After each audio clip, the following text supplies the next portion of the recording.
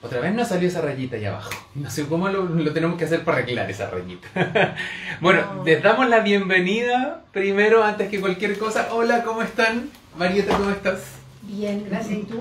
Muy bien, gracias, muy bien también. Listos y dispuestos en este nuevo conversatorio. Sí, pues el segundo conversatorio de esta temporada, marzo, ¿cierto? Marzo 2021. Tenemos tres invitadas. Así es. Tres, no, son, no dos, tres, tres. En el primer bloque vamos a conversar con Isidora Stevenson, que fue una de las directoras de la muestra de dramaturgia, ya la tuvimos acá, pero ahora la tenemos en su faceta de dramaturga. Ella es la autora de Niebla, una obra que a mí me pareció preciosa, en cartelera, que está en la cartelera del Finisterra. Con gran éxito por lo sí, demás. dirigida por Soledad Gaspar y con dos actrices entrañables, queridas por todo el mundo, como son Gloria Muschmayer y Gaby Hernández. Hoy sí, son adorables. Vamos a hablar de esa obra que tiene de dulce y de agraz, tiene humor, tiene ternura, pero también tiene lo que es la reflexión social potente. Y en el segundo bloque hablaremos con Claudia Pérez y con su hija Daniela Muñoz Pérez. ¿Por qué? Porque ellas forman parte del proyecto Ventana Teatral de la Católica, del Teatro UC. Ahí Daniela, que estudia en la Católica Teatro, escribió una obra y protagonizó otra. Eh, Claudia, que estudió también en la, en la Católica, dirige una obra y también actúa en otra. Entonces ya tienen mucho que decir de ese bonito proyecto de la Católica. Que por lo demás ahí vamos a estar contando detalles de qué se trata, porque Exacto. es bastante interesante y por lo demás bastante novedoso para la comuna de Ñuñoa y para el teatro de la Universidad Católica. Así es. Así que mientras tanto vamos a invitar a Isidora, Isidora. a que se sume a nuestra Isidora ya está conversación. conectada, así que búscala. Y sí, efectivamente va a quedar guardado para los que nos están preguntando. ¿ya? Así es que vamos entonces a invitar a Isidora, Isidora. a conversar con ella de niebla. Esperando que se conecte entonces. Ahí está Isidora. Hola, Hola, ¿cómo estás de nuevo? Un gusto. muchas gracias bueno. por invitarme. Otra vez acá. Un gustazo tenerte de nuevo con nosotros, así que nosotros felices. Vamos a hablar de niebla, Bueno, ¿cierto? sí, Cuando te entrevistaba para la, la panera, tú me contabas que había sido una convocatoria del Teatro Finisterra que te invitó a hacer una obra. Cuéntanos un, un poco cómo partió. claro. em, la invitación fue súper concreta y era que escribiera una obra para dos personajes y que fuera una conversación por Zoom. Esa era como la premisa de la invitación. Y yo hace tiempo tenía ganas de trabajar con la Sole Gaspar, así que le dije, mira, me invitaron a escribir una obra, tengo una idea de que sean mujeres mayores, porque estamos, ¿cierto?, acostumbradas a ver todo el tiempo en el teatro eh, juventud, digamos. Entonces, cómo eh, trabajar con estas actrices me parecía una tremenda oportunidad, entonces finalmente la obra la escribo pensando en ellas. Y ahí empieza a aparecer la historia en un intercambio con la Sole eh, respecto a estas dos mujeres que en un principio pensamos que podían ser hermanas y así partió la idea y luego fue mutando y se terminan convirtiendo en la nena y la Carmen. Sea, finalmente la historia parte desde otro lado, por lo que me dice Exacto. entonces. eh, y, y- y podemos saber algo de eso, de cómo partió sin, sin conocerlo, digamos. Eh, era un poco parecido, ¿cierto? Estas dos mujeres que se tienen que reunir por Zoom porque la pandemia les impide estar físicamente conectadas. Y, eh, y empezamos a trabajar, claro, esta idea de las hermanas, que de hecho nos reíamos, le decíamos las dos hermanas. Entonces, eh, en un momento dijimos, ya, pero ¿cómo finalmente en los temas de género aparece también lo que hablábamos con Marieta la otra vez, los temas de clase?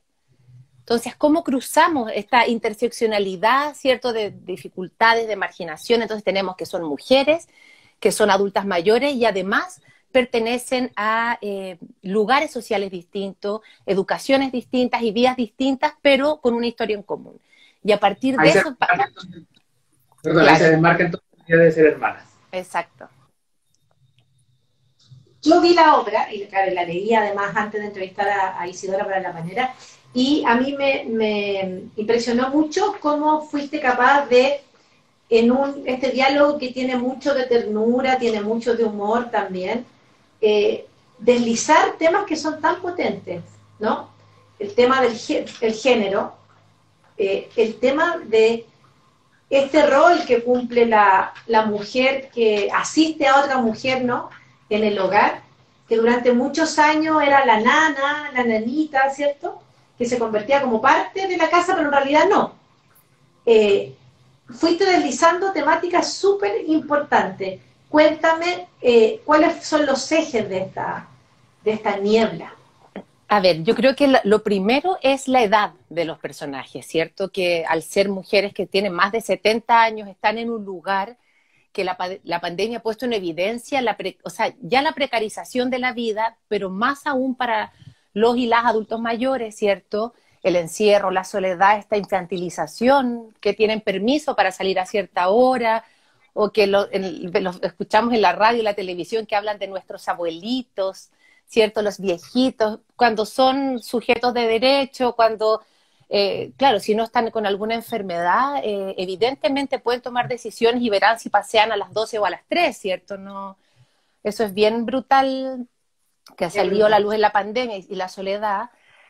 Eh, entonces eso es como lo primero que está en la obra, ¿cierto? Y luego se suma el factor de clase, que claro, antes teníamos muy en ciertos sectores sociales, ¿cierto? Muy normalizado que hubiera mujeres que, que cuidaban hijos ajenos o hijas ajenas para que esas otras mujeres hicieran sus vidas, trabajaran, ¿cierto? Pero finalmente, para que una mujer pueda trabajar, hay otra mujer, ¿cierto? Que está debajo, ¿cierto? encargándose de las labores domésticas y en otros casos, que no es el de la obra, eh, mujeres que se encargan de su trabajo profesional y además de las labores domésticas y además de la crianza, o mujeres que se encargan de la crianza y lo doméstico y tienen que abandonar lo profesional. O sea, históricamente las mujeres estamos a cargo de las labores de cuidado eh, y en la obra nos interesaba poner ese tema. En el fondo, una mujer que posterga su vida personal por su trabajo y su trabajo es justamente cuidar eh, hijos ajenos, hijas ajenas y encargarse de otra casa para que esa otra mujer pueda salir a trabajar. En el fondo ahí se enreda un poco más la relación porque aparece eh, el factor de clase, de trabajo, de subordinación. Eh, y claro, eh, el, concepto de la, asesora del hogar puertas adentro, que finalmente es un trabajo que se convierte casi en una esclavitud porque es de la mañana hasta la noche, duermes en tu trabajo. Entonces nos interesaba hacer ese, aparecer ese tema, pero sobre todo con la mirada desde el hoy, que, que, que es un poco cierto lo que porta Nena, eh, perdón, Carmen, y Nena diciendo, pero ¿cómo si las cosas eran así en el fondo, como las miradas desde el pasado, lo que estaba naturalizado y lo que ahora nos ponemos en crisis, desde los feminismos, ¿cierto? Y eh, desde este 18 de octubre, donde volvemos a mirar todo, por cierto. Así es. Bueno, y también Nena pone en crisis el rol que tantos durante siglos ha tenido la mujer, ¿cierto? Cuando le dice no idealices, yo tuve un marido, tuve hijos y ¿de qué me sirvió? ¿Cierto? Es fuerte esa frase. Sí. Porque es a lo mejor ella que no habría querido casarse, a lo mejor no habría querido tener hijos, a lo mejor habría querido irse a, no sé, de fotógrafa al, oriente, digamos. Y no lo pudo hacer porque el mandato era tener, casarse y tener hijos. Quedarse en casa. Y quedarse en casa, sí. Claro, es bonito eso porque finalmente una siguió ese mandato de el ser eh, esposa y madre, y la otra sigue el mandato de las labores de cuidado.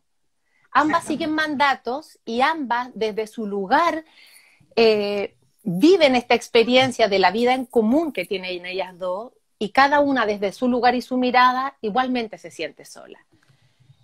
Porque finalmente lo que nos dábamos cuenta con la Sole, como eh, hay un montón de películas y libros y sobre la vejez, obras de teatro, sobre, no sé, pensábamos en la nana, ¿cierto? La película, eh, hay mucho material, pero en realidad lo que atraviesa a estas dos mujeres es justamente la soledad, el abandono eh, y, en el fondo una soledad que no es elegida, ¿cierto? Porque no es que alguna de las dos sea una ermitaña que se va a vivir a la montaña, sino que una está en un hogar y otra está en su casa sola.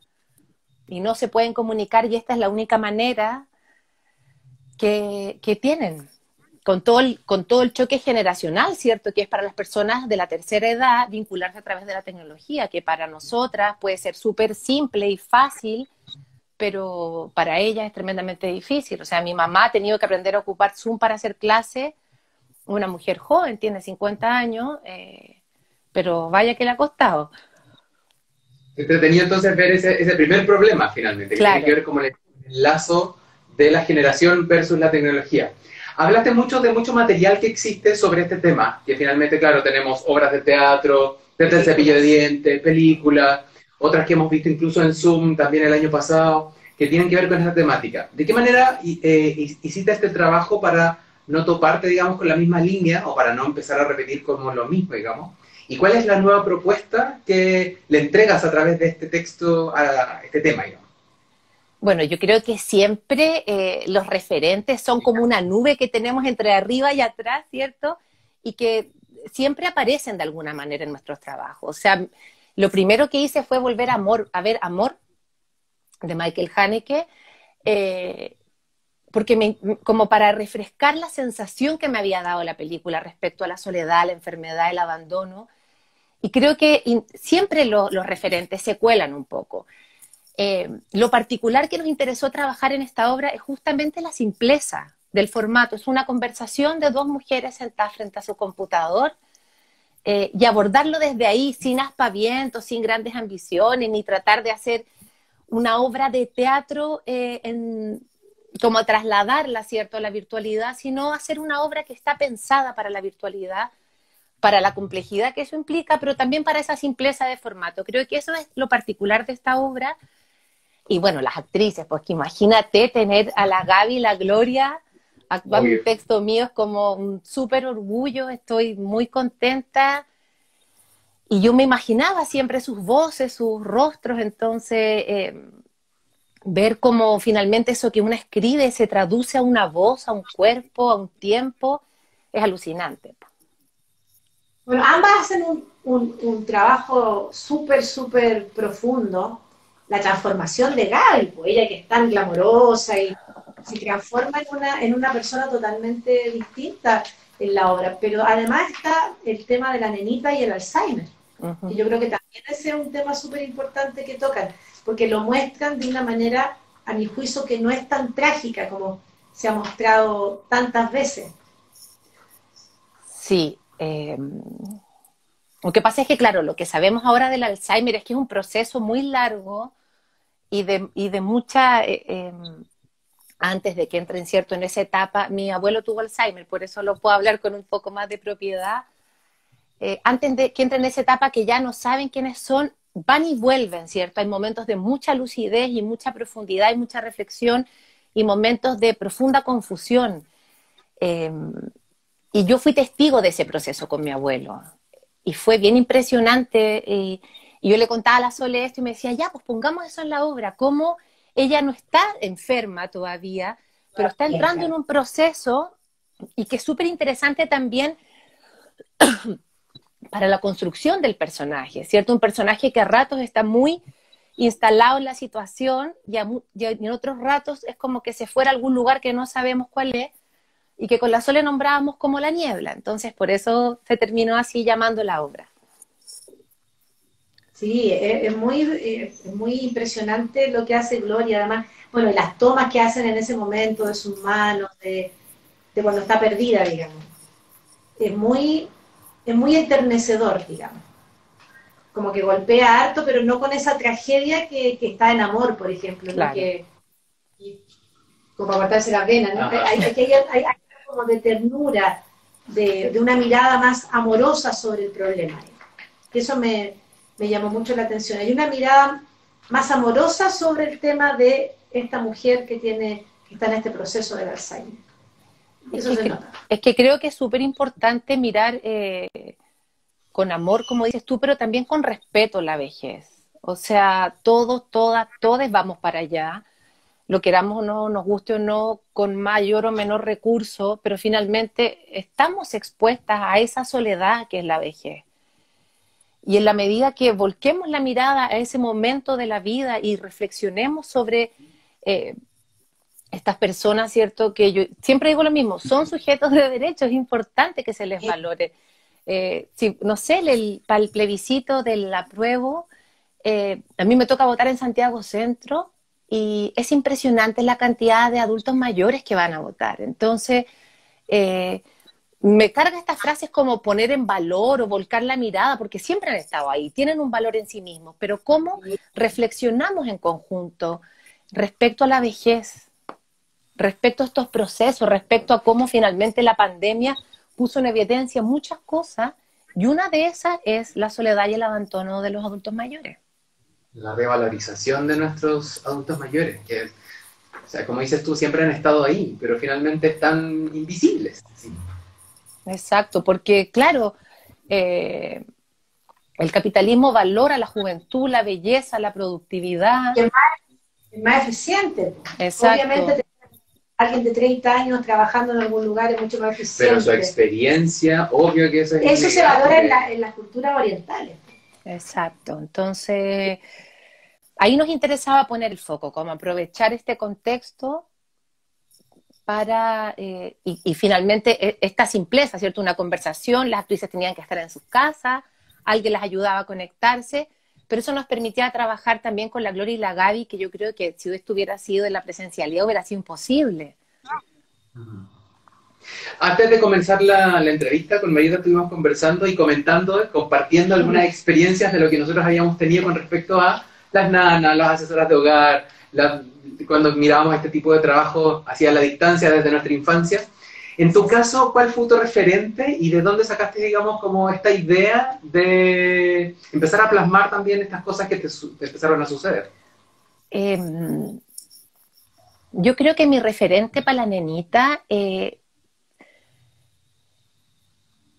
perdón, para la, Carmen, perdón, que eh, es justamente una nena que hay en mi vida que era alguien que trabajaba en el campo cuando yo, soy de Los Ángeles y pasaba mucho tiempo en el campo eh, donde había mujeres justamente que vivían cerca, que se iban caminando todos los días a trabajar eh, a nuestra casa. Y, a mí me impresionaba cómo yo podía estar con mi mamá y sus hijos y sus hijas estaban ahí al lado, pero no podían estar con ella. Eh, como, e, como e, esa distancia, estando cerca, a mí siempre, eh, ahora entiendo por qué era tan brutal para mí de niña observarlo, eh, pero en el campo había muchas, muchas, muchas Carmen, que, no, que, que, en el fondo eran nuestros referentes de cuidado de, la, de los huertos, ¿cierto? De las cocinas. Y creo que también ahí hay un lugar eh, que desde ningún, en ningún sentido me interesa que sea paternalista, sino todo lo contrario, como poner en valor lo que eso significa y cómo eso es eh, finalmente eh, una mujer que permite que otra mujer haga, en el fondo, lo que llamamos su vida, ¿cierto? Su trabajo. entonces, también me interesa ese espacio, como de, de nombrarlo, de en el fondo que esos, los hijos de Nena los crió Carmen, de que si no, claro, y que Carmen permitió que Nena pudiera salir a trabajar, ¿cierto? Y ser productiva, como que las mujeres siempre tenemos que estar en la productividad, entonces, o, remunerada o no remunerada. Entonces me interesaba poner esos temas, eh, aprovechando, ¿cierto?, la figura de Carmen, que además es adorable, y que se banca todas las pesadeces de la nena, eh, pero nos damos cuenta que hay una relación de mucha confianza, pero que no son pares. Hay una jerarquía, hay un desnivel entre ellas, y eso aparece finalmente. Sí, justamente te iba a preguntar si este tipo de esta diferencia se nota, digamos, muy, muy plasmada en la obra. Claro, porque en el fondo, esto que decía la Marieta en un comienzo, es parte de la familia, es, es como parte de la familia. No, no es parte de la familia.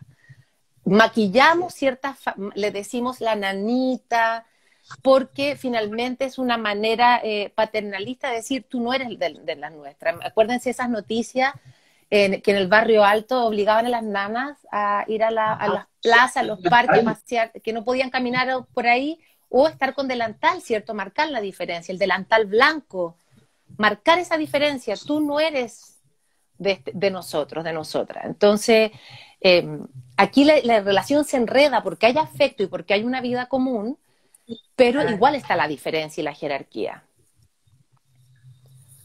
Una delgada línea ahí que tiende a romperse cada cierto tiempo. justamente en este tipo además que, que, Carmen quiere mucho a los hijos de Nena. De hecho, Nena dice, eh, se llevan más bien contigo, le dice. Entonces hay una mm. relación bien intrincada de, de cariño y teñida por esta diferencia que, que dice Isidora.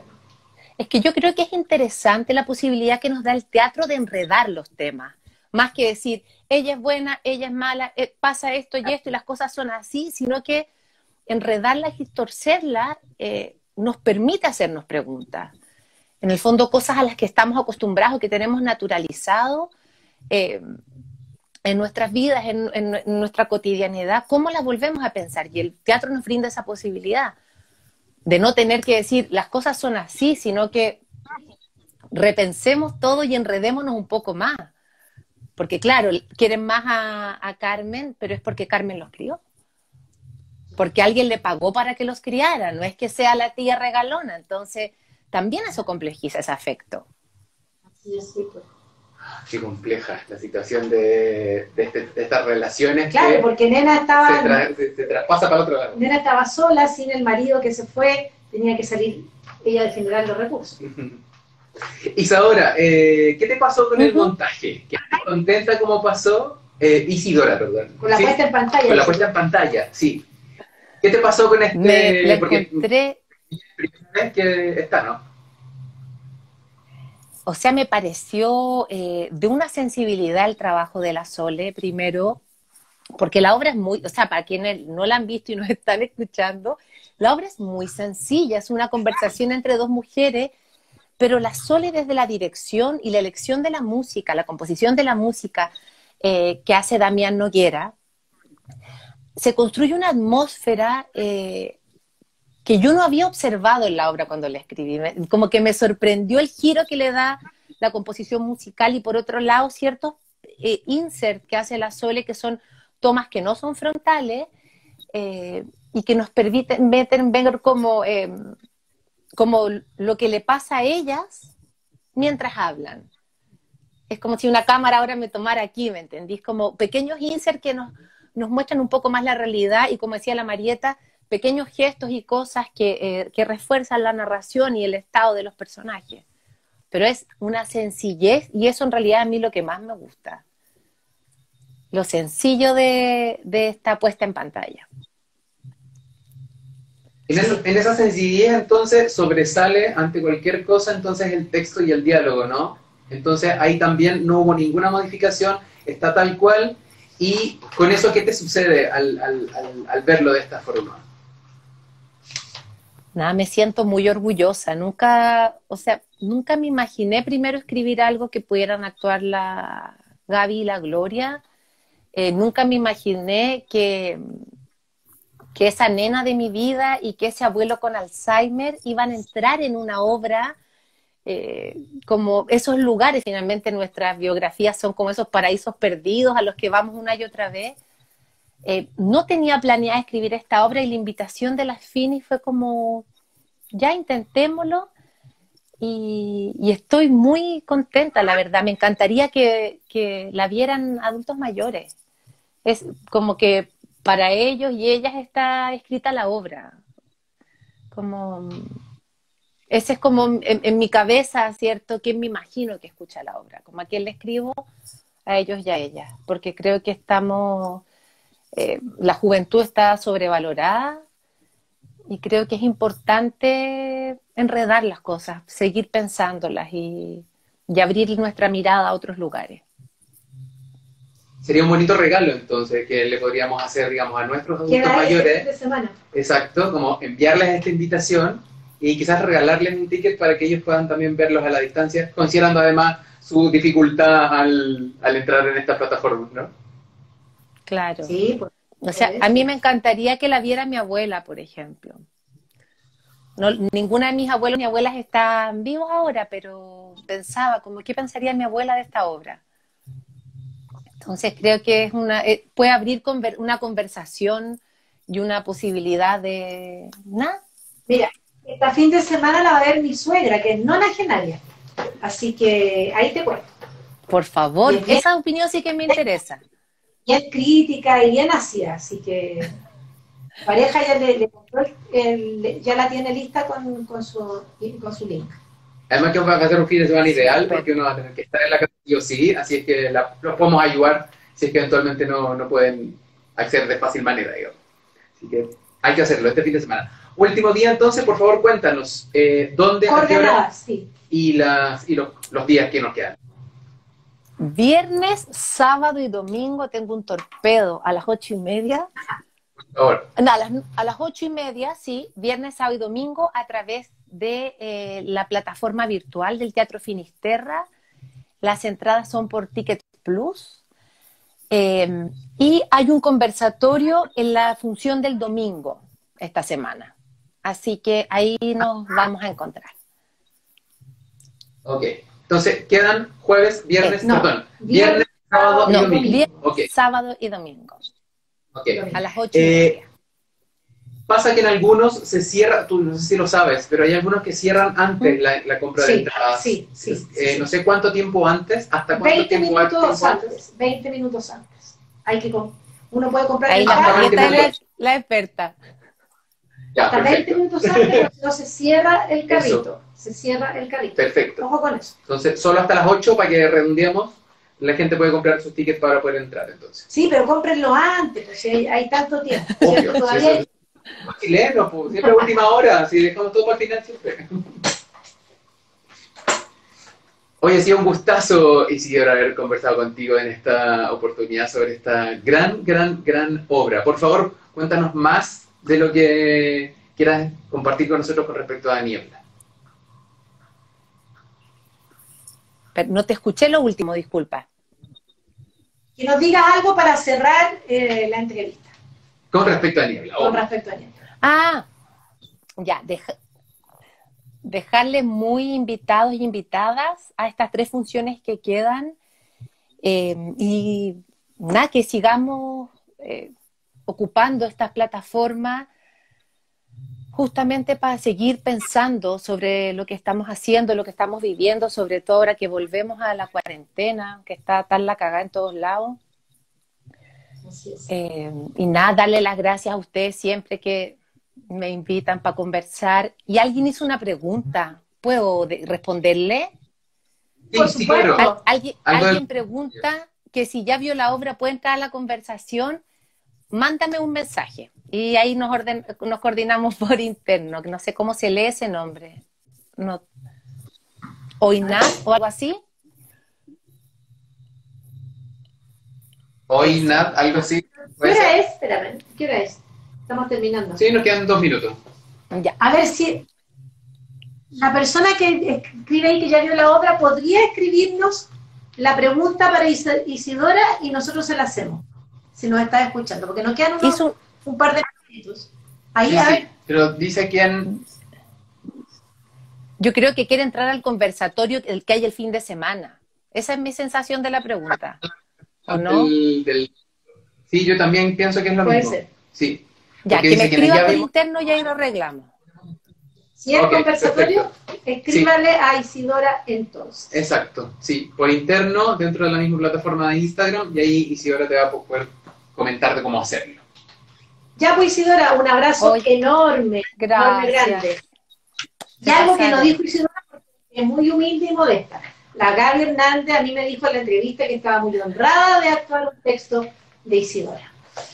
Y que lo diga Gaby Hernández por algo ¿cierto? Que tiene carrete, que tiene trayectoria y todo eso. Ahí está, mira. Sí, a la conversación del domingo. Entonces, Dale, escríbeme nomás. Perfecto. Un besito y muchas gracias. Que estén bien. Muchas gracias, felicitaciones. Gracias. gracias. Y vamos con, la, con las dos bellas que siguen. Este es un programa dedicado a las bellas mujeres, me encanta. Así es, yo creo que me voy a, Ah, voy a salir después de, de, esta conversación tan hermosa que hemos tenido. Vamos con la Claudia, ahí está la Claudia. Y la Daniela. A ver, que nos cuenten de este proyecto tan interesante de de la- obras del teatro. Sí, obviamente. Ahí vamos. Ahí está. Hola. Hola.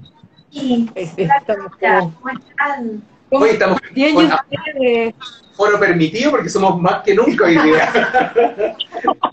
aforo, aforo, pero casi, casi. Oye, qué lindo escuchar a la Isi, la admiro profundamente, una querida amiga, compañera, hemos trabajado juntas también en la, en la comisión de género, así que nada, además, si es que está todavía viendo, le mando un beso gigante y honrada de compartir este espacio con ustedes. ¡Ay, qué linda! Muchas gracias, muchas gracias por eso. Sí, ella, ella, yo creo que va a estar feliz de recibir también saludos tuyos. Sí, pues. Obvio. Se mandan saludos mutuamente esta niña. bienvenidas, un gustazo de tenerlas con nosotros. Y qué bueno, Daniela, que pudiste estar con nosotros finalmente, para que nos cuentes. Sí, sí, súper importante. Tu participación en el proyecto es súper importante. Cuéntanos un poquitito. Ventana teatral, eh, una idea de proyectar estas obras de alumnos de la católica hacia el público que pasa por fuera del teatro. Cualquiera de las dos que quiera profundizar más en ese. O sea, al principio esto partió porque se nos propuso en, la escuela de teatro, la Gabriela Aguilera dijo, oigan, si tienen, si tienen algo que, que mostrarnos o quieren algo como para poner en el teatro, podemos conversar y y ahí yo con la Clau estábamos ensayando una obra que escribí yo y al mismo tiempo con Pascal, que es una de las chicas que escribió una de las obras que está, también estábamos ensayando su obra, donde la Clau dirige. Claro, yo estoy estaba dirigiendo estos dos montajes. Y uno dirigiendo y en el otro dirigiendo y actuando. Sí, en uno dirigiendo y en el otro dirigiendo y actuando en el, de la Dani.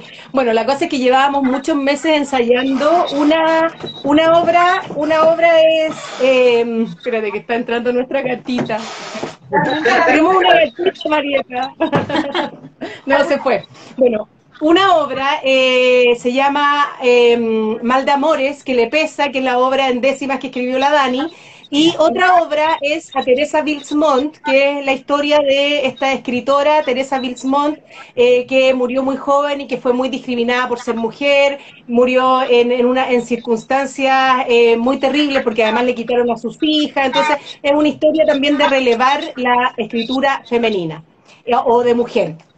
Entonces estábamos ensayando estas dos obras por Zoom y sentíamos la, la, sensación de frustración de no encontrar un espacio para poder mostrar y tampoco saber hasta, hasta, hasta qué momento íbamos a estar ensayando, o sea, cuánto tiempo se iba a prolongar esto. De hecho, los ensayos los partimos en septiembre y decíamos como ya, vamos viendo mes por mes para ver qué pasa, a ver si lo podemos empezar a montar presencial y empezó a pasar el tiempo y a pasar el tiempo y a pasar el tiempo y nada.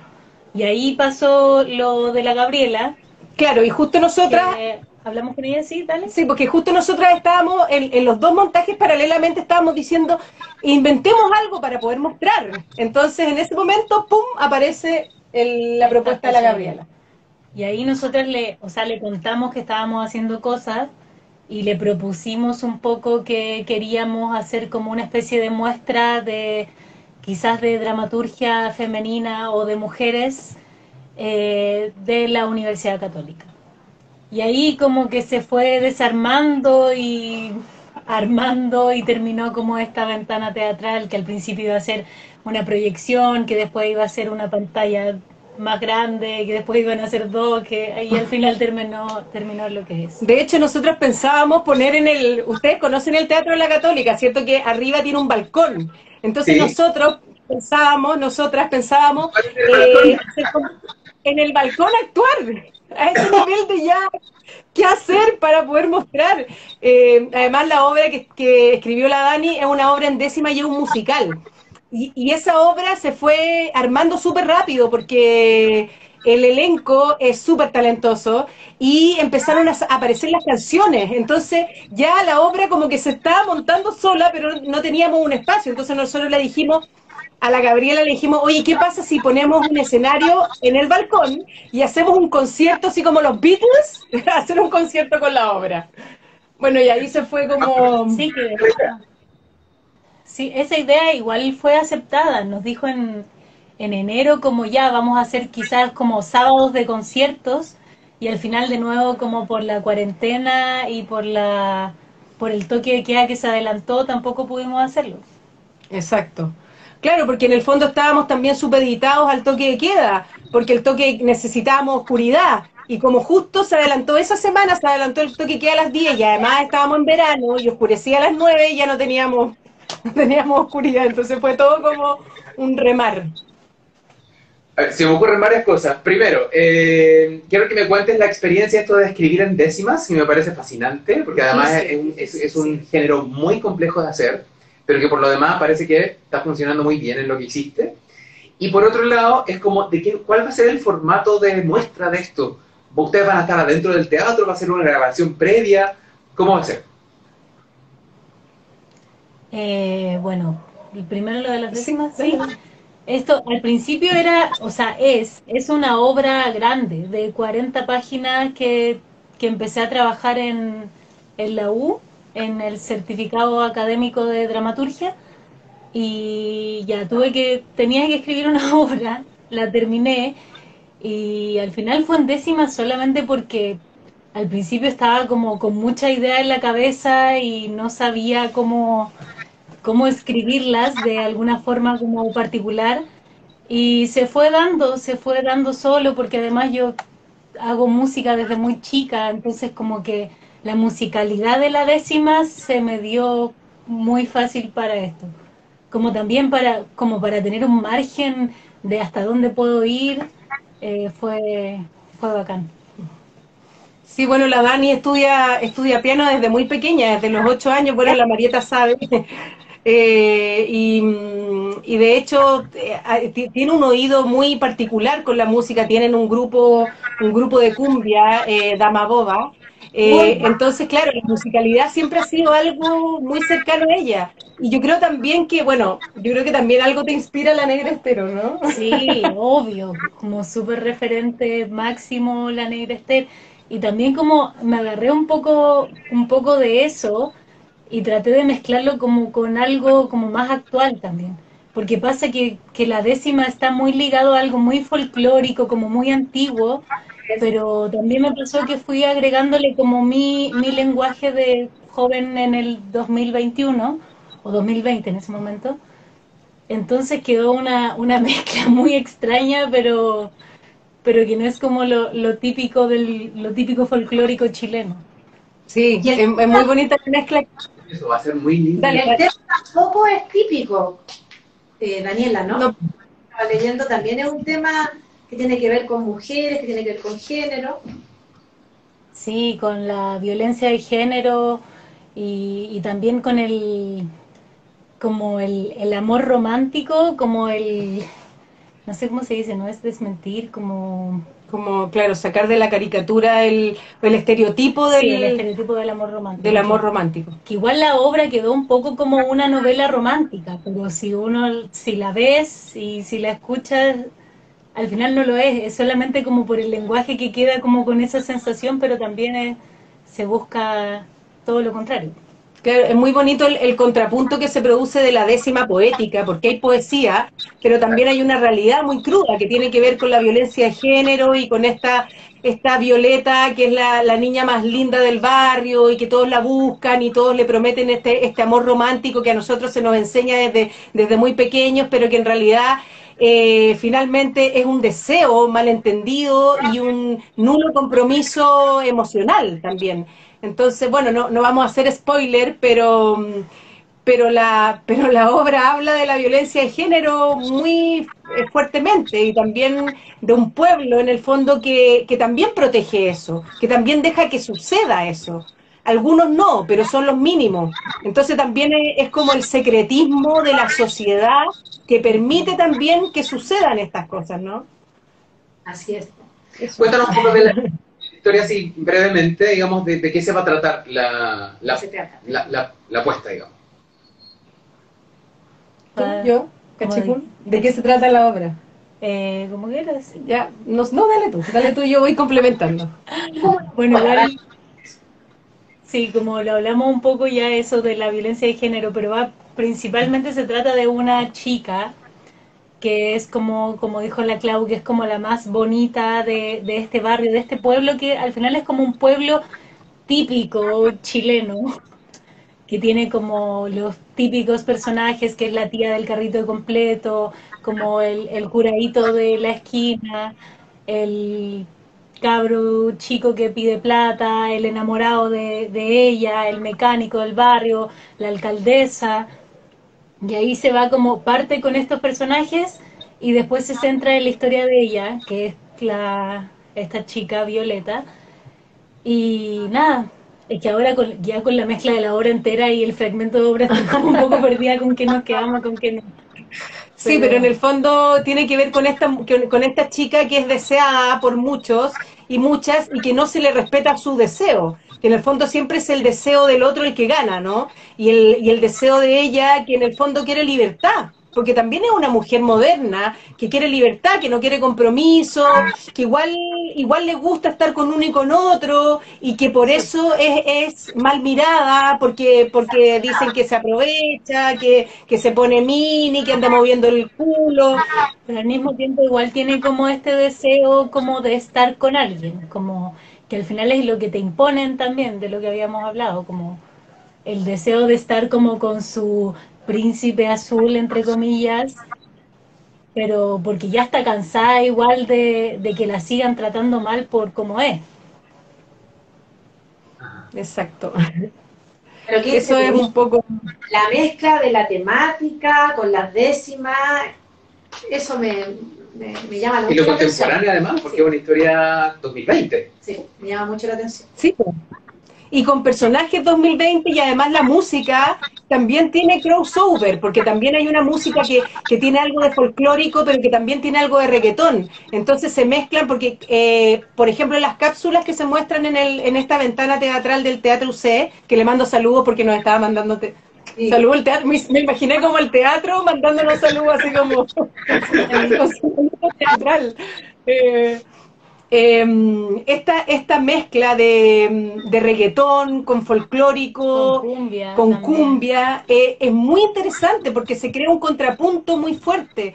Em, las canciones, hay, hay un logro ahí dramático que, bueno, la, la Dani escribió el texto y el, y el eh, Manuel Castro Volpato hizo toda la música que un talentoso también, que es un agrado trabajar con gente joven talentosa. Yo me siento como con un súper regalo, así como, ¡ah! Me estoy, robando su energía y su talento.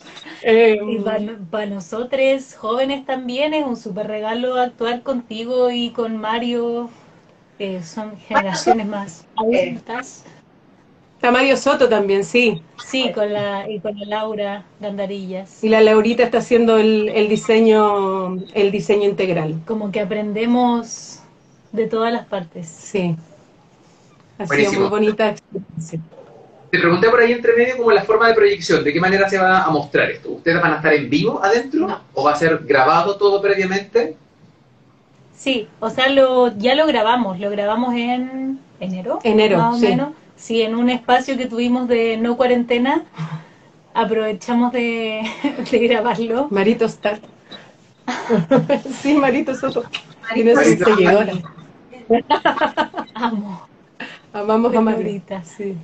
Dale, dale. ¿Qué ah, sí, hablando del en, en, enero. En enero lo grabamos y sí, al final lo que hicimos fue que, al menos en esta obra, en Mal de Amores, eh, hicimos como una super reducción de texto, que quedaron casi las puras canciones, y grabamos cada una de las canciones como cápsulas audiovisuales, teatrales. Está contada en cinco actos, ¿o no? Sí, hay uno solo que es pura actuación, todas las otras son como una especie de videoclip con, con las canciones. Entonces es, una, es una gran cápsula que dura 20 minutos, que está compuesta por cinco cápsulas que son canciones, menos una, eh, y que grabamos todo en dos días lo grabamos en la Casa de la Cultura de Ñuñoa, que, que tuvo la gentileza de prestarnos ahí la casa, nos pasaron las llaves, imagínate, nos dieron las llaves de la Casa de la Cultura, nos prestaron toma, nos abrieron la casa y tuvimos dos días enteros grabando. Nos vieron demasiado desesperadas. Sí. De hecho, yo lloré. Fui a, a, hablar con la directora de la corporación y le dije, oye, Vero, ¿sabes que te quería pedir algo? me dijo, sí, toma. Y yo me puse a llorar. Yo dije, me puse a llorar y me dijo, ¿por qué estás llorando? Y me dijo, porque yo le dije que estoy tan acostumbrada a que me digan que no y que me cierren puertas, que cuando me dicen que sí me emociona mucho, de verdad, yo no podía parar de llorar de agradecimiento de que alguien te prestara así la casa entera para nosotros. Es que además habíamos tenido tantos problemas para grabar. Como que primero íbamos a grabar con unas chicas que después a última hora nos dijeron que no, Después íbamos a grabar en un lugar que no funcionó porque a última hora subimos que no había baño. Después pusieron la fase 2 y no podíamos grabar los fines de semana. Después nos conseguimos unos permisos de trabajo, pero se cayeron y después tuvimos que conseguir otro. Entonces fue un Sí, y al final nos pasaron este y fue como, te juro que yo lloré 10 minutos así de emoción de que te abrieran una puerta. Así que fue ya están grabadas las cápsulas y ahora en, una ventana del teatro se, se proyectan esta, estas cápsulas. que estuvimos, alcanzamos una semana, dos semanas. Casi dos semanas y ahora, bueno, hoy día van a cerrar de nuevo hasta nuevo aviso, pero después vamos a seguir. Se detiene por la cuarentena, pero vuelve. Bueno, vuelve. Perfecto. Cuéntame un poquito, Daniela, de Teresa Bilsmont. Tú, protagonizas a Teresa Bilsmont, ¿no? Sí, la, yo protagonizo a Teresa y la, autora es, ¿cómo se llama la, la autora? La autora es Pascal Celaya, es la autora. ¿Qué, aspectos toma Pascal de la Teresa Bismont que pone en, esta obra que tú representas? Bueno, la Pascal como que hizo, bueno, hizo un trabajo de investigación gigante porque ella es demasiado matea. Entonces fue sacando como extractos de libros de la Teresa, más escritura de ella, y ahí fue como contando la historia de la Teresa, pero desde ella, desde ella, ella como Teresa, como mujer, y desde sus hijas y su como nana mamá rosa. Nana mamá.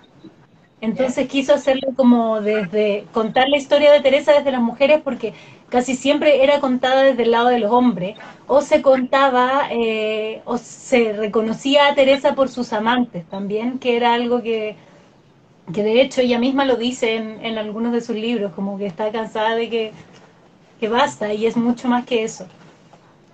Claro, siempre se, se, cuenta la historia de Teresa Bilsmond a través de un sesgo machista. Entonces, eso lo pudo ver la, la Pascal, que, que eh, sí, es súper es super matea, súper productora. Y, y, ella, claro, la cuenta desde las voces de las mujeres y eso es, muy bonito porque uno se acerca a Teresa Bilsmont desde, desde otra sensibilidad y además escucha su, poesía y su y la, la, cabeza que tenía, porque tenía una cabeza súper creativa, eh, que no, que rompía con todas las normas de la época. Eh, además tuvo una, una vida muy eh, castigada porque le quitaron a sus hijas, porque ella quería, porque se separó, porque quería escribir, porque quería ir a Buenos Aires, porque quería viajar. En el fondo como que hizo lo que cualquier hombre hace ahora, pero no es criticado. Y en ese momento ella sí lo fue. Y de hecho era súper criticada por mala madre, por haber abandonado, entre comillas, a sus hijas, pero, pero también estaba en todo su derecho. Sí, pues, Pero, que claro, finalmente no fue un abandono, sino que ella ella optó también por tener una, una carrera artística, claro. O sea, la Entonces, ¿Ustedes recuerdan que le echan la culpa incluso a este amante que se suicidó? ¿Se acuerdan? Y que la culpa es de ella según lo, lo, la historia, digamos. Ella causó la de este chico, digamos. Que nada que ver. Sí, de él escribió, él escribió para eso un libro sobre ella, sobre todo el, el amor que, que lo llevó al, suicidio. Claro, historia como oficial la culpa a ella, así como hoy su amante se suicidó por culpa de ella. Claudia, ¿habías dirigido antes a tu hija? Eh, así, con una obra de ella, no, es primera vez. Bueno, en la Prole actuamos juntas eh, pero era una creación colectiva, como que se iba dando de a tres, digamos. Pero ahora y además con pura, con pura gente joven, eh, es súper bonito. Yo estoy súper admirada y agradecida porque he aprendido mucho y me emociona. Yo, yo le contaba a, a, mis, a mis compañeras eh, de mi curso de, de teatro yo ni en mis mejores sueños me imaginé alguna vez tener una hija actriz que estudiara en, mi, en, la escuela donde yo estudié y después tener el, el, regalo de poder dirigirla y que después esa dirección o, ese, o de ese resultado se diera en el teatro nuestro, donde yo egresé, donde va a egresar ella. Es un, un círculo eh, tan hermoso que yo nunca lo soñé, la verdad. Estoy súper, súper emocionada y y además actuando con mi nieta, que está ahí en la guata. Entonces, los saludos que hay para la guagua que viene, hay un montón de saludos ahí ¿Ah? en el Hay un montón de saludos la guagua que viene que han puesto ahí. Lindo, no los he visto. Para nuestra Violeta. Se, llama como la protagonista de la, de la obra. Sí, pero la obra, la obra estaba primero. Yo le puse a ella por la obra. Quería tanto a la obra que le puse el nombre. Oye, pero la Daniela tiene un tremendo ejemplo en tipo, en ti y en Rodrigo también. O sea, tú empezaste súper chica con la gestión, gestores incansables de miles y miles de años haciendo lo que quieren hacer. Yo creo que es tremendo ejemplo, ¿no, Daniela? No bajar los brazos, no esperar que les den cosas, siempre poniéndole. Todo el rato, todo el rato un súper ejemplo desde siempre y yo creo que por eso desde que entré a la escuela que he estado con esto de, de estar armando mi carrera paralelamente mientras estudio. Como que no he parado en todo este tiempo de escuela y sí, es súper agotador también y lo veo en ella y lo veo en mi papá que sé que, que están muy cansados a veces pero igual es, sí, es un súper ejemplo de que no, no tengo que parar ni descansar porque las cosas no llegan solas, tengo que, que seguir. Y es bacán, bacán tenerla al lado y trabajar con ella en esto también. Y que, y que le haya gustado mi obra también, eso también me da mucho miedo, como no, es que también te dejan la vara muy alta, entonces ¿qué hago yo ahí? o lo hago mejor o... Y sin duda que lo hiciste mejor, porque yo, además que yo leí la obra, te juro, y sí o no, que a mí me caían las, yo igual soy llorona, pero me caían las lágrimas de emoción del talento, porque de verdad que es un talento especial. Además, bueno, con su, do, con su grupo musical ya han hecho dos videoclips que además le ha ido súper bien, que de verdad ha sido pura gestión de, de ellas eh, es súper emocionante ver cómo tu hija eh, va creciendo y va teniendo vida propia y alas propias y, su sello propio, que no es el sello tuyo ni el de tu ni el de su papá, sino que es súper propio de ella. Y eso es muy, es muy bonito y muy reconfortante. Y yo creo que más que el hecho de seguir, seguir, seguir y el sacrificio, que yo tampoco creo mucho en el sacrificio porque no han querido meter también en la cabeza que uno no se cansa y todo, yo creo que es la capacidad. Sí se cansa. Sí, pues uno sí se cansa y sí está muy frustrado muchas veces, pero en el fondo es poder trabajar esa frustración y esa frustración convertirla también en motor y, desde la rabia a veces uno crea también, desde, desde, la, desde la, Es tanta tu pasión, te conozco desde hace millones de años y tú eres una apasionada, así absolutamente, por el teatro, por el hacer, por el escribir, por el mostrar. ¿Sí o no? Sí. Es una pasión. Sí. tú también eres así. O sea, nos reconocemos ahí, Marieta, en, ese sentimiento de pasión y de amor por lo que uno hace también. Tú dices, no es sacrificio, simplemente pasión, En todos los estrenos siempre están las dos. Sí, siempre, estamos ahí los dos, sí, ¿verdad? A veces nos va increíble, a veces nos va mal, a veces nos pescan, a veces no, pero siempre estamos, es una dupla, una dupla fuerte, sí. Así es. Claudia, que Daniela quiere elegir o elige eh, estudiar actuación, ¿qué pasó contigo? ¿Hubo un, un, por favor, no, o un dale, no te preocupes, pero no sé, cuéntame. Mira, la verdad es que yo nunca me imaginé que la Dani iba a estudiar teatro? Porque tú la, tú la conoces, Marieta, desde que era chiquitita. ¿Cómo era? Muda. La Dani, la Dani no hablaba y solamente música, música, música, música, música. Entonces, yo siempre como que daba por hecho de que la Dani iba a estudiar música. Yo también. ella también. Pero no sé en qué momento, parece que en cuarto medio hicieron una obra de teatro. Fue como algo del, del colegio también, hicimos algo en el colegio y a mi profe le gustó harto me dijo como, oye, lo hiciste súper bien y dirigiste a tus compañeras como buena onda. Y aparte conocí a un, a un amigo, que ahora es mi mejor amigo, que él quería estudiar teatro también, que después estudió publicidad, pero en ese momento quería y fue como, oye, mira, como, metámonos a un taller, no sé, y surgió y listo. Mira, yo la, la, verdad es que no tengo cara para decirle no estudies eso, te vas a morir de hambre, porque eso fue lo que los papás de todos quienes estudiamos teatro nos dijeron. Es como la frase, la frase célebre de los, los padres y madres, pero la verdad es que a mí me, incluso me tranquilizó que entre música y teatro eligiera teatro, porque encontraba que en teatro se le podía dar más fácil, ¿no? Eh, tenía más redes también. Además, yo creo que la música ayuda mucho al teatro. O sea, súper complementario. Exacto, una actriz que, que, sabe de música y que toca instrumentos se complementa maravilloso y, y la Dani lo ha hecho, de hecho, en tu, a lo largo de su, de su carrera, digamos. Sí, o sea, yo creo que ahora la, la obra es un poco así, como teatro que se complementa con la música y el grupo, nuestro grupo de cumbia, Dama Boba, es al revés, como la música que se complementa con el teatro y es bacán. O sea, en realidad eso se ve más en los videoclips y supuestamente en los shows que tendremos en vivo cuando no haya pandemia, pero ojalá sí. No, sí, ahora están diciendo, 4G XS7IN 4.2.0 nos está diciendo que la saludemos. Ojo, 4G XS7IN 4.2. Podría traducirnos su nombre. Hola. A ver cómo se llama, ¿no? Pero tienen muchos saludos ahí entre los. Y saludos para la guagua también, un montón.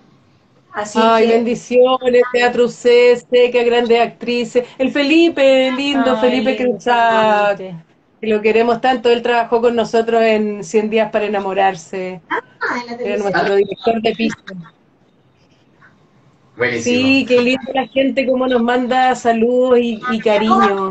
Fernando, de San Fernando, saludos. San Fernando. Saludos. Saludos, coman rico, waffles, waffles belgas oficial. Hoy nos encantan los waffles. belgas. Dani Caballita Fans. Ay, linda, te mandamos un saludo. Fans de la Daniela, mira.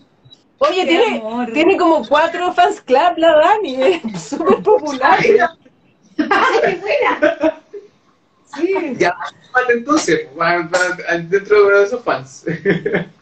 Oye, súper con ustedes dos, chicas lindas, ambas, inteligentes. Invitaciones y coordenadas para lo que viene. Quiero saber si tu obra, Dani, tiene algún proyecto para mostrarse completa en algún momento o finalmente después de esto se va a guardar un poco hasta nuevo aviso.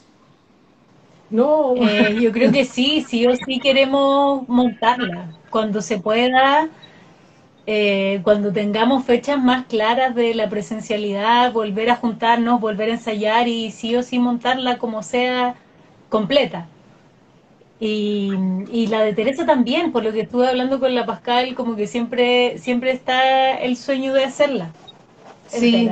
No, y además que yo, yo siento que de verdad esta ventana teatral que es súper metafórica, porque no es solamente la ventana en sí que está en el teatro, sino que también para nosotras fue una ventana de descomprimir el deseo de mostrar y también de trabajar la frustración, porque a lo mejor si no hubiéramos tenido este espacio, no hubiéramos hecho las cápsulas, y si no hubiéramos hecho las cápsulas, a lo mejor no hubiéramos frustrado y hubiéramos guardado las obras y lo hubiéramos dejado ahí por mucho tiempo.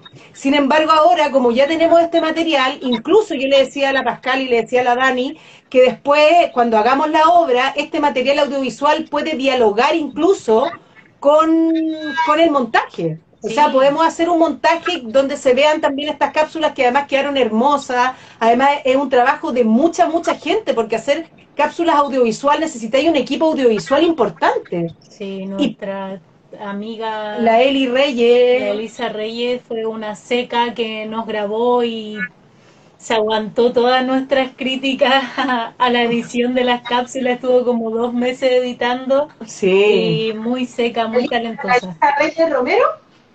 Sí, ella. La Elisa. Sí.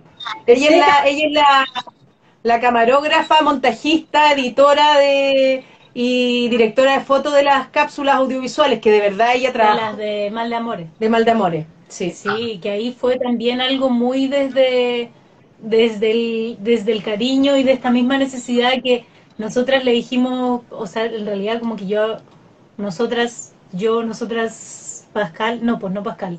Claudia. No, con la, con la Paula y Aleli, que son chicas del, del elenco de Mal de Amores, fue como, pucha, tú también saliste de, de la católica, como esto como hacia el final como que no tenemos plata para montarlo, pero que sea como un una especie de win-win con el con el teatro, con el mostrar, mostrar tu trabajo y mostrar nuestro trabajo y en este espacio que al final eh, tú eh, estudiaste acá y nosotras también, como sí, como trabajar colaborativamente eh, con el equipo fue súper bonito porque realmente no había presupuesto para nada. Esto es puras puras ganas. Todos, todos entregamos las ganas, el teatro eh, eh, puso el espacio y este, y este producto, sin duda, eh, después vamos a poder mostrarlo y va a poder la gente pagar y que, y que se pueda pagar también el, todo el trabajo que se hizo, porque yo lo agradezco enormemente a todo el equipo, pero claro, no, no hemos recibido ningún pago, digamos, monetario. Entonces sí queremos después poder hacer algo bonito, que se pueda mostrar también todo el trabajo que hizo la Elisa y todo el, el, equipo audiovisual y que eso dialogue con el montaje. Y eso sería es lo que lo que quisiéramos. Lo que quisiéramos más pronto. Que... pasar entonces, sí, Sí, debe volver además Ventana Teatral, porque se debe ir esta cuarentena en algún momento y debe volver Ventana Teatral. Así es. Sí, y dejar esta, esta ventana teatral como un spoiler a lo que va a venir después también, para que la vayan a ver y digan, uy, quiero ver esto completo. Sí. Oye, además súper bonito, hoy día me contaron, está, fui a grabar un este, este programa que estamos haciendo con el Rodrigo, Porfiando al Olvido, que es un programa a personajes del teatro, y me contó la directora de la corporación que el otro día había pasado por la Plaza Ñuñoa y que estaba lleno de gente mirando. Que estaba lleno, incluso que había gente cruzando la, la, la calle de Jorge Washington puesta en la, en la en la plaza mirando la ventana teatral y a mí me emocionó mucho porque la gente va pasando y se encuentra con un regalo, con un regalito teatral y se entrega un contenido bonito y, y que te hace reflexionar. Así es. Vamos a tener que esperar entonces a que vuelva de nuevo. Pero en el teatro nos dijeron que volvía, apenas se levantaba la cuarentena, volvía a Ventana Teatral. Buenísimo, tenemos que estar atentos para saber los horarios y todo ese tipo de, información y para que estemos atentos al, a la muestra. Al teatro sí, Y estamos, estamos nosotras con Más de Amores que le pesa. Está a Teresa Bilsmont, que es de Pascal Celaya, y está Caminos, que es un, cuento que escribió otra chica de la escuela, la Valentina Nazar, y que es de la recóndita compañía. Sí, ahí está entre medio de los dos otros. Tres creaciones. Tres creaciones. Bueno, nos empezamos a despedir, ya nos quedan un par de minutos nada más, si no un par de segundos, porque estamos medio pasados. Un par de segundos, que nos... Así que nada, despedirnos primero ante cualquier cosa y por favor, ustedes libertad absoluta para decir lo que quieran al final. Que se acabe, la, que se acabe el toque queda.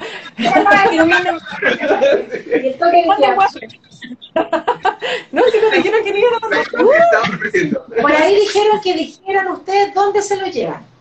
Así que ah, súper, ahí le vamos a escribir. Y te los voy a mandar a ti también, les voy a mandar a ustedes waffles también para... Ah, ya, la persona de la Claudia. Ya, chicas, muchas gracias. Gracias por la invitación. Sí, vean Ventana Teatral cuando pasen por la Plaza Ñuñoa. También estamos haciendo este programa Porfiando el Olvido, que es de la Corporación Cultural de Ñuñoa, que ahí pueden ver a todas las maestras, maestros del teatro. Hicimos entrevista a Mario Lorca, hicimos entrevista al Tomás Vidilla, a Jaime Badera, a la Delfina Guzmán, a la Loreto Valenzuela, tantas maestras y tantos maestros. Y Ventana Teatral, por supuesto. Sí, por si el olvido, este sale todos los sábados un capítulo nuevo y están en, el Instagram de la corporación. Sí, de la corporación. Capítulos completos. Perfecto. Está muy, bonito también ese así que hay algo que hacer en cuarentena. Muchas gracias. Cuídense. Gracias por el espacio. Muchas gracias. muchas gracias por estar con nosotros. Por estar acá. Nos vemos. Chao. Chao. Nos vemos. Chao, chao. Ya. Les vamos a recordar que esta conversación tan entretenida que tuvimos con Claudia y Daniela y la entrevista, también la conversación con Isidora, queda en el Instagram, después la subimos a Facebook y además está en YouTube y en la página web santi.cl. Exacto, así que hay muchos lugares donde podernos buscar, donde revisitar esta entrevista y todas las otras además que hemos hecho eh, los meses anteriores. Así que síganos allí y véanos, obviamente. Les agradecemos estar con nosotras y nosotros con nosotros. y el próximo miércoles tendremos invitados, invitadas tan, tan buenos como los de hoy día. Muchas gracias por estar con nosotros y nos vemos el próximo miércoles a la misma hora en este mismo canal, como dice el, el refrán, eh, por el Instagram de la Fundación, el miércoles a las 6 de la tarde. 6 de la tarde. Nos vemos. Muchas gracias. chao. chao.